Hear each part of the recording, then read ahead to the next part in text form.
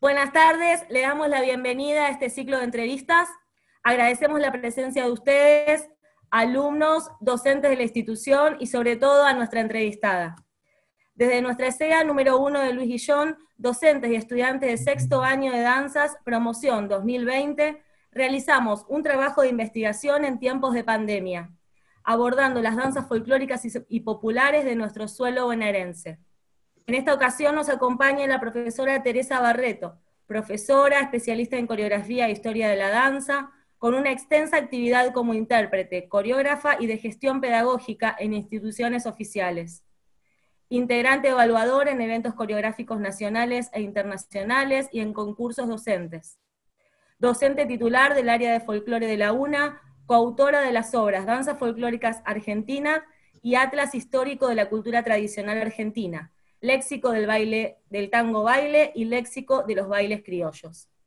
Inmersos en el primer periodo que abarca desde 1780 a 1820, los estudiantes que realizaron su trabajo de investigación de la danza vals comenzarán a entrevistar a la profesora Teresa Barreto. buenas tardes a todos. Hola, Teresa. Agradezco la invitación y agradezco a los profesores en principio que han sido motivadores para que los alumnos puedan llevar a cabo estas, estos trabajos en realidad.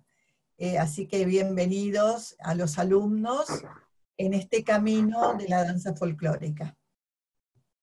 Hola Tere, mi nombre es Ana Paula, gracias por darnos su tiempo y le voy a preguntar a qué edad empezó a dedicarse a la danza y qué la impulsó a eso en realidad, eh, dedicarme em, ya casi de adulta cuando recibí el título docente, pero inicié mis estudios de danza en una academia de barrio siendo muy pequeña y que después eh, hice mi ingreso ya a los 10 años a la Escuela Nacional de Danzas y una vez que finalicé el profesorado de danza clásica, inicié el profesorado de danzas nativas y folclore. Bueno, y a partir de ahí estuve alternando eh, en forma, trabajando en forma paralela, tanto en folclore, en ballet folclóricos, como en ballet contemporáneos. Y bueno, desde ya que uno entiende que la danza es solo una parte de la cultura, entonces me llevó también a ahondar un poco más sobre la historia de la danza. ¿no? cuáles eran los antecedentes, cómo se interrelacionaba la danza con tantos aspectos de la cultura, especialmente entendiendo que más allá de la música y la copla que aparecen como un trío unido en la danza, también hay otros aspectos que son, por ejemplo, la ocasión en que se danza, el momento, el ambiente social, la época, la región, es decir, un conglomerado de situaciones que son interesantes e importantes al momento de reproducir o reconstruir una danza, pero también importante si uno quiere transferirla al espacio escénico. Bueno, y gracias. La segunda pregunta es si tiene recuerdos de las primeras veces que se subió a un escenario o si nos puede compartir algo que se acuerde de sus primeros pasos. Sí, me acuerdo eh, de los primeros pasos, bueno, no sé, eh, tendría que pensar quizás un poco más, pero sí tengo, uno recuerda generalmente aquello que nos ha divertido en su momento y siendo alumnos del profesorado de folclore habíamos hecho una actuación y ya había un programa, un orden, ¿no es cierto? Teníamos un cuadro este, norteño, después venía un cuadro de litoral y un cuadro sureño. Y no sabemos por qué razón se alteró el orden, pero no nos cambiábamos todos en el mismo lugar. Y había quienes ya sabíamos el orden, norteño, el sureño. Se cambió norteño sureño. Bueno, teníamos música en vivo, en el foso de orquesta estaba en una tarima el piano, el pianista, Walter Coquet. Y había una pareja que estaba al lado de él, ¿no es cierto?, apoyados en el piano, vestidos de litoral. Abren el telón, todos vestidos de sureño. Los que se habían cambiado del litoral no se enteraron que había un orden de programa. Y el pianista empezó con litoral, y todos en el escenario de sureños.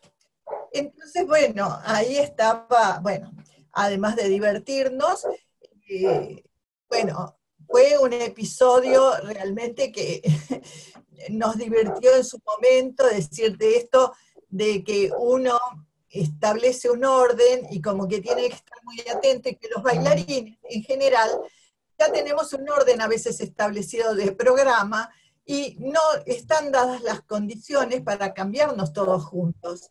Entonces, eh, el que se cambiaba lejos, por ahí no se enteraba de los cambios. Y como eso, bueno, anécdotas hay muchas, ¿no es cierto? Este, es decir, uno se acuerda generalmente de estos este, momentos que nos llevaron así este, a divertirnos, bueno, eh, yo en realidad empecé a bailar profesionalmente en el ballet de cámara, ballet municipal de cámara de Lomas de Zamora. Se había creado este, un grupo, no éramos muchos, por eso era de cámara, seríamos siete u ocho de danza contemporánea. Ahí empecé profesionalmente. Y bueno, y después este, cuando uno empieza muy joven a bailar, bueno, se va enganchando con cuánto grupo y conjunto aparece. Este, y bueno, eso llevó a que recorriera el país, eh, estuvieran intervinieran algunas películas de Leopoldo Torre Nilsson, El Santo de la Espada, que es la vida de San Martín, Güemes, la vida de Güemes, también de Leopoldo Torre Nilsson. Bueno, en fin, este, bastante digamos, nutrida la parte artística, ¿no? De presentación.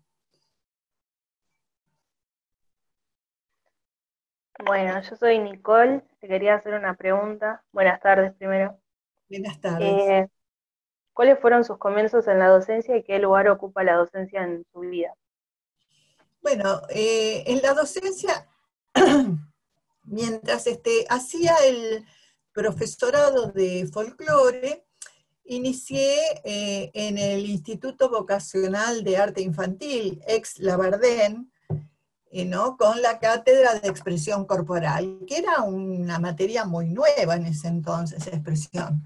Y bueno, empecé trabajando allí. Después, este, bueno, seguí en la Escuela Nacional de Danzas, en principio, por supuesto, haciendo suplencias breves, y poco a poco, bueno, me fui insertando en, la docencia, pero eh, en la docencia también entré muy joven y todo mi trayecto docente es muy, muy largo, ¿no? Nunca abandoné la docencia. Así que este, ha sido un lugar muy importante. Eso llevó a veces eh, que la parte artística tuviera que dejarla a veces aparte, porque los que dictamos somos docentes de danza, sabemos también que preparamos cuadros, preparamos coreografías, salimos de actuación con los alumnos. Entonces, bueno, eso también genera un tiempo extra, ¿no? Entonces ya me quitaba tiempo para seguir en grupos este, de danza, ¿no? Y le quería hacer otra pregunta, que es, ¿qué diferencia encuentra entre una escuela común y una de arte? Y nosotros también sabemos que usted también trabajó en el polivalente de, de Seiza. Estuvimos viendo eso. Bueno, eh, mi trayecto docente siempre fue en escuela de arte, ¿no? Escuelas de danza. Eh, siempre estuve, digamos, a cargo de la materia danza, sea danza contemporánea o danza folclóricas, ¿no? Historia de la danza.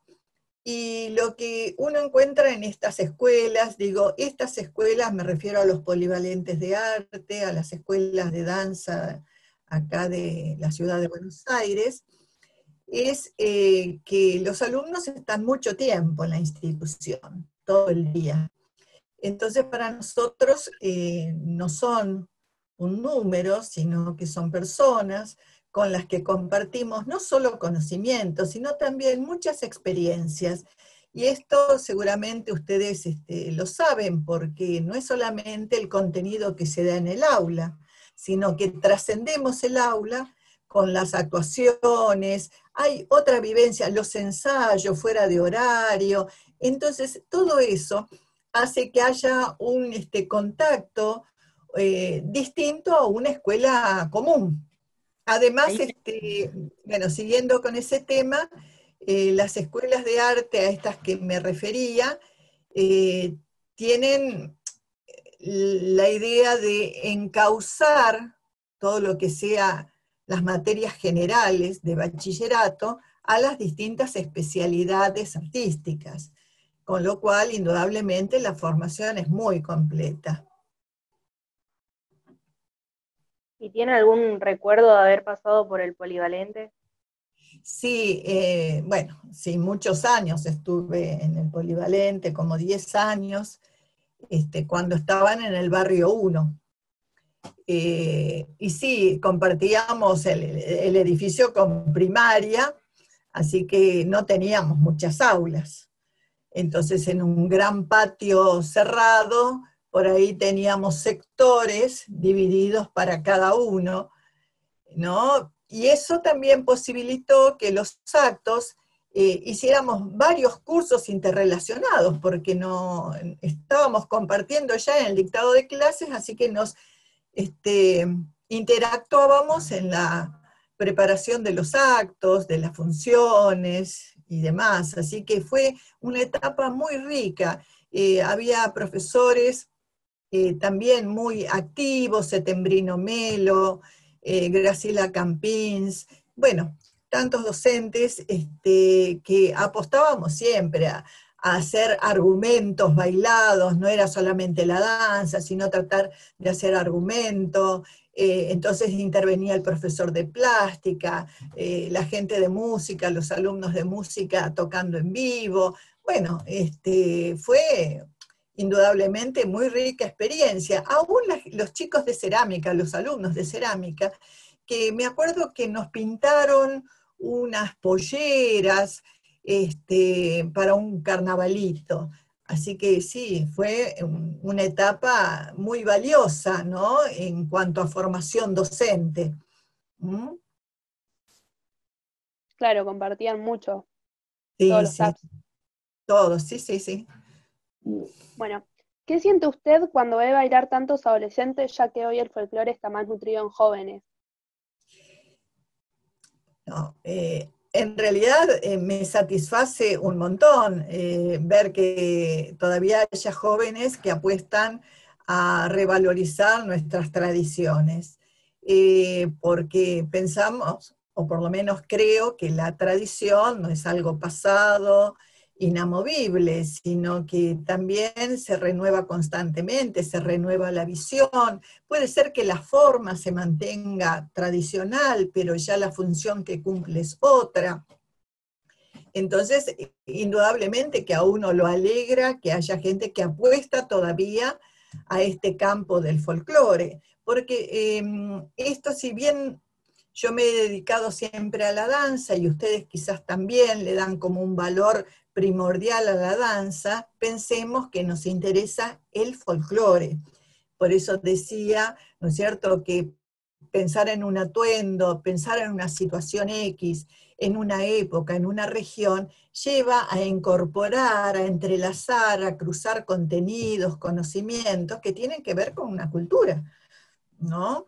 Cómo se da la danza en esa cultura y que nosotros intentamos a veces reproducir y otras veces simplemente nos sirve de inspiración, no simplemente por decir menos, sino que tenemos elementos para reelaborar o elaborar secundariamente. Sí, tal cual. Eh, y como dijo Fer en la presentación, hicimos un trabajo de investigación de 1700, el del Vals, y nos, nos costó muchísimo encontrar fuentes confiables. ¿Usted no puede recomendar algunas para los próximos trabajos? Bueno, mira, eh, fuentes confiables. Del periodo que ustedes están hablando, en realidad van a trabajar solamente con viajeros y cronistas, es decir, no van a tener un material em, que les pueda decir exactamente el paso en el tiempo que se hacía, sino en general em, hablan de la danza, si es de enlace o no, y muchos más datos no van a encontrar.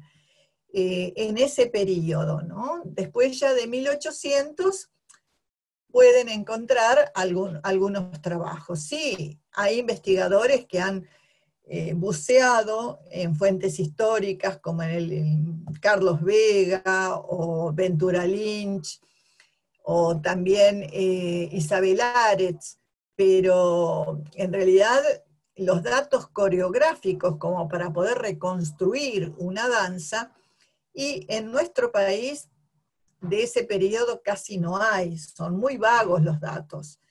Ahora, si ustedes estuvieron trabajando con el VALS, como el VALS viene de Europa, en Europa sí van a conseguir mucho más material. Y hay un trabajo fundamental, que es Historia Universal de la Danza de Kursach.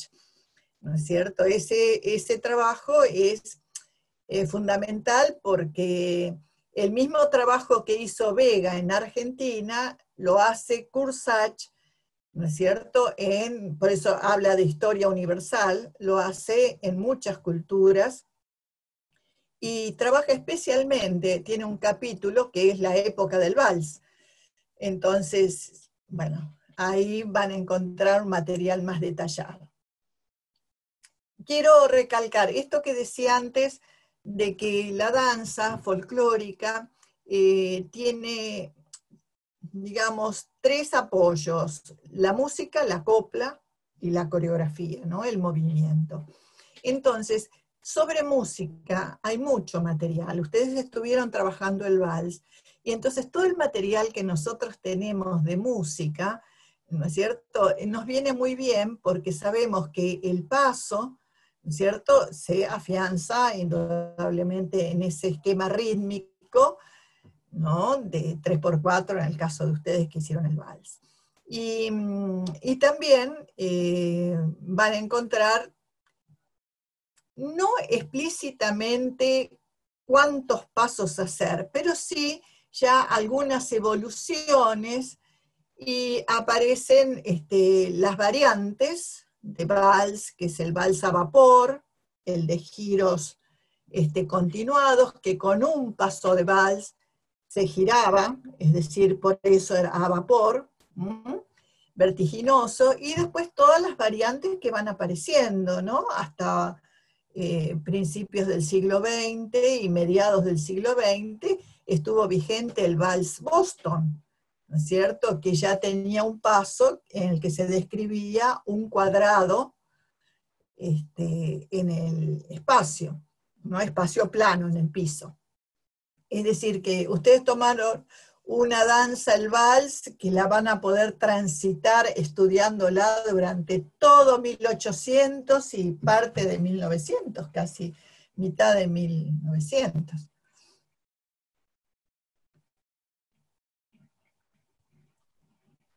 le voy a hacer otra pregunta, que es ¿qué consejo le daría a los adolescentes próximos a estudiar el profesorado de danza folclórica? Mira, eh, creo que ustedes deben haber tratado el tema de que el año pasado se sancionó la ley de enseñanza del folclore en los niveles educativos, es decir, en, la escuela este, obligatoria, de enseñanza obligatoria, no el periodo. Em, por lo tanto, ser profesor de danzas folclóricas significa la posibilidad, ¿no es cierto?, de ejercer en las escuelas, pero no solamente por la fuente laboral, sino que uno está transmitiendo algo mucho más este, valioso también que tiene que ver con la identidad. la identidad este, colectiva, la identidad social, y además con el arraigo, ¿no? Con el arraigo a un espacio físico, este, el arraigo también a símbolos, ¿no es cierto? Que puede ser una bandera, el himno, es decir, hay toda una connotación muy importante, ¿no es cierto?, que va más allá de mover un pañuelo o de enseñar una danza. Se movilizan valores, valores sociales, culturales.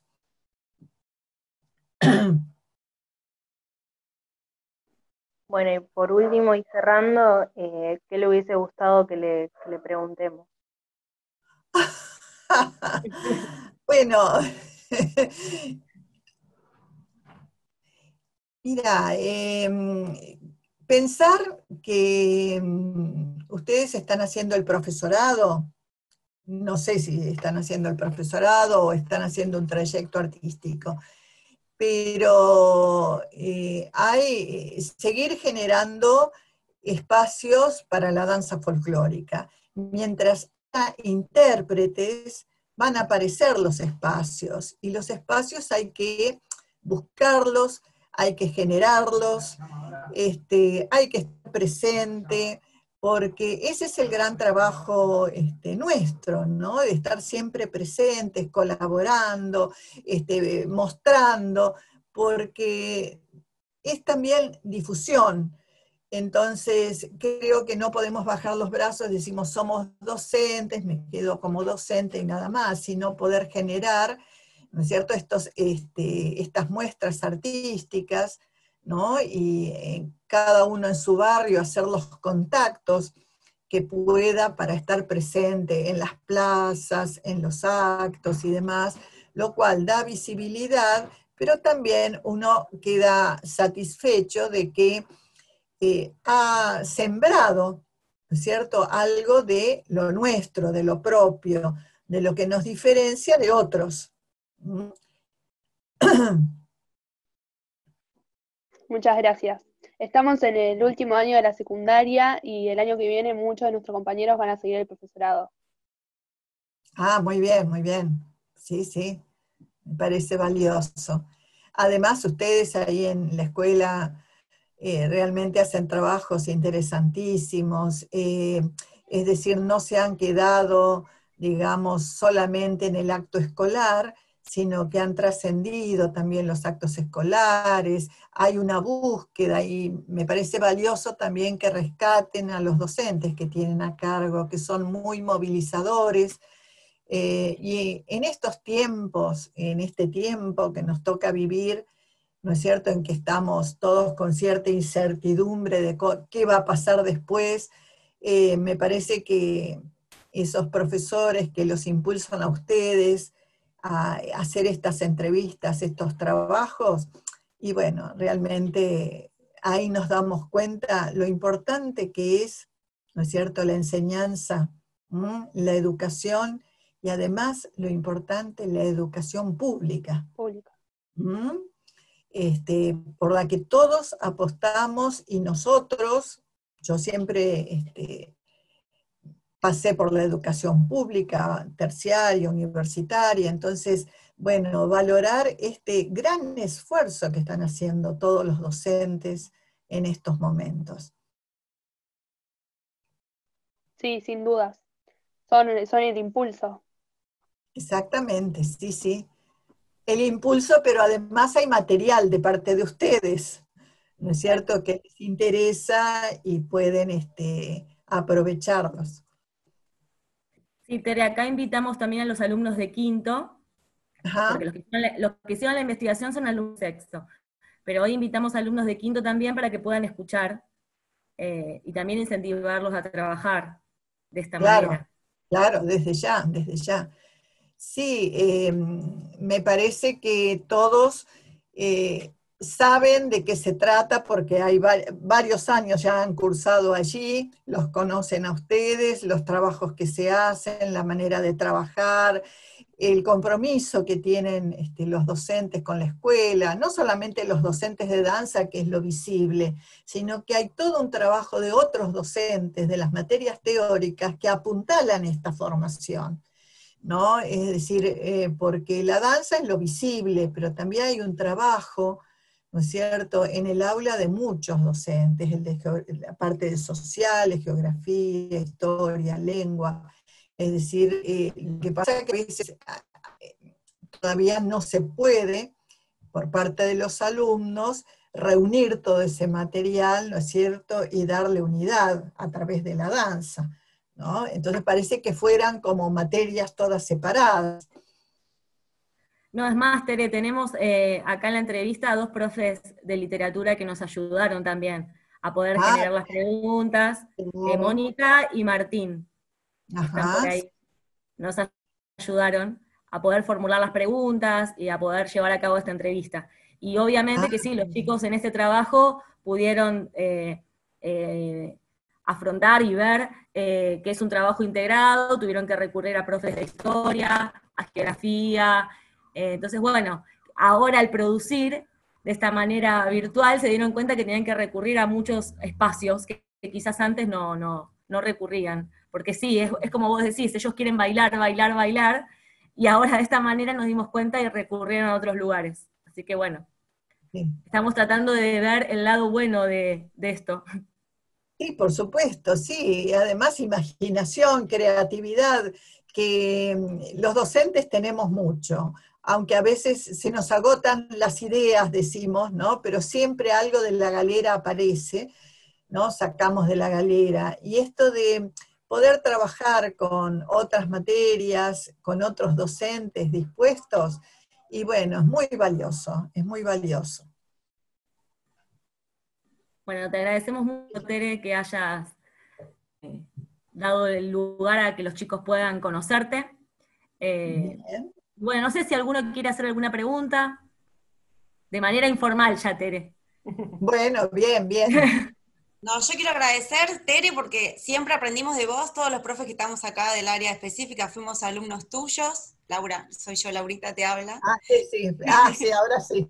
Ahora me ves. Eh, así que quisimos de esta, aprovechar esto, como dice Fer, cuando tuvimos que pensar en quién entrevistar, eh, fuiste uno de los primeros nombres que, se, nos, ocurrió y decir, qué posibilidad linda de que te conozcan, de que no tenemos que depender de que viajes hasta Guillón y hacer una entrevista, y bueno, de esta manera poder tenerte cerca y que ellos también te escuchen como te escuchamos nosotros, ¿no? Y que nos dejes todo ese bagaje y todo lo que hablaste, que me encanta escucharte, eh, así que qué bueno que pudiste y te agradecemos enormemente yo les agradezco a ustedes que me tengan presente, eh, porque además en el polivalente, el poli, porque para mí seguirá siendo el polivalente, ¿no es cierto? Guardo los mejores recuerdos, porque también es una etapa en que uno se, yo me fui consolidando como docente en esa escuela, ¿no? Y fueron 10 años y parece que no, pero es bastante tiempo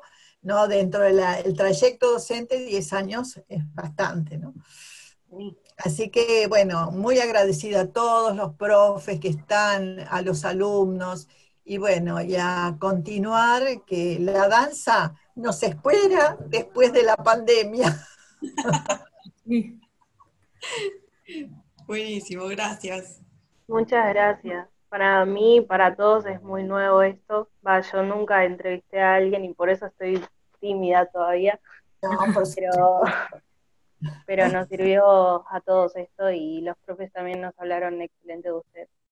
Bueno, muchas gracias, muchas gracias. Te nombró, en la entrevista anterior te nombró mucho Fernando Muñoz como referente. Eh, bueno, eh, sí, a Fernando, bueno, uno lo conoce desde que empezó prácticamente como adolescente bailando, ¿no? y que después hizo el profesorado. Sí, sí. Sí, hay muchos referentes que han pasado por el poli. Eh, la verdad que el polivalente de Seiza tiene que estar orgulloso de todos los docentes que pasaron por allí y de los que están, porque ha sido eh, realmente un referente como institución, ha sido, y sigue siendo un referente importante del Gran Buenos Aires. Eh, el material que sale, los alumnos, los egresados, lo que se ve, ¿no? Es un trabajo muy serio. Así que, bueno, adelante los profes, los apoyo, por supuesto, en toda su labor. Y bueno, lo que quieran que pueda colaborar, encantada, a los alumnos también. Gracias, Tere. Muchas gracias. Bien, ¿alguien que quiera preguntar algo? ¿Nos animan? Bueno. Bueno, Tere, te mandamos un, aplauso. Vos. Yo los aplaudo a ustedes por la iniciativa, por la constancia. Te queremos, Tere. Ah, ¿qué tal, Romina? Ay, la Romina. Me quedé calladita, recién al Y no la dejamos hablar, Tere, a Romina. Oh, bueno, por algo será, por algo será. Me iba a poner a llorar, Romy, me iba a poner a llorar. Quería, Ah, te escuché, te juro, y me emocioné porque volví a mis primeros años del profesorado, eh, a todos esos años que fueron, creo que, los mejores. El poli, primero, lo mejor que me pasó, y la UNA. Conocí un montón de gente maravillosa y ahí estás súper incluida. Nombraste a mi profe Setembrino Melo, que yo lo adoraba. Excelente profesor. Y bueno, me hiciste emocionar, Tere. ah, bueno, Bueno, gracias, Tere, por tu generosidad. bueno, Te queremos mucho y sos una- un gran referente para nosotros. bueno, un beso a todos.